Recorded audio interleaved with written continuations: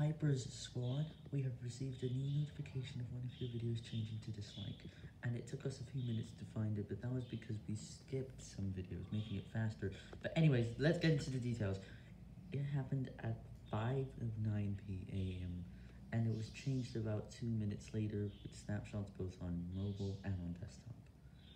I am sorry your video had to be changed to dislike, but this is what we do. We sometimes check all liked videos, and if we find anything that doesn't have subtitles, it will be changed to dislike.